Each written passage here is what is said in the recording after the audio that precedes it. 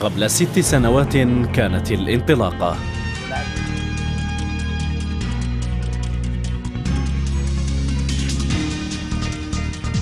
في عيد الثورة الفاتح نوفمبر عام 2011 ظهرت الشروق تيفي للوجود لأول مرة وهي أيضا ذكرى تأسيس جريدة الشروق اليومي.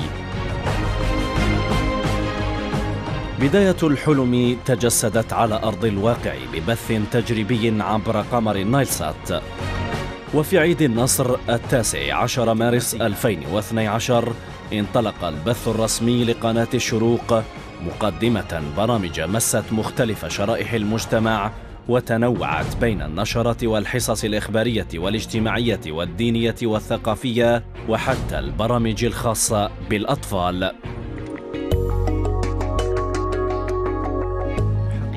وفي رمضان العام نفسه قدمت قناة الشروق أوراق اعتمادها في أوساط الجمهور الجزائري واكتسحت المشهد الإعلامي محتلة المرتبة الأولى في الجزائر من حيث القنوات الأكثر متابعة.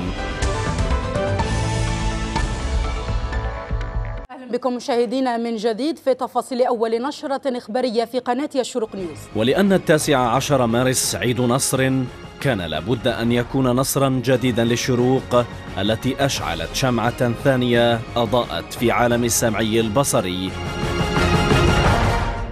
انطلق بث قناة الشروق نيوز في 2014 وبنشرات ومواجز إخبارية على رأس كل ساعة. بعد أن أوقدت الشروق شمعتها الثانية كان لابد أن تضيء مجددا.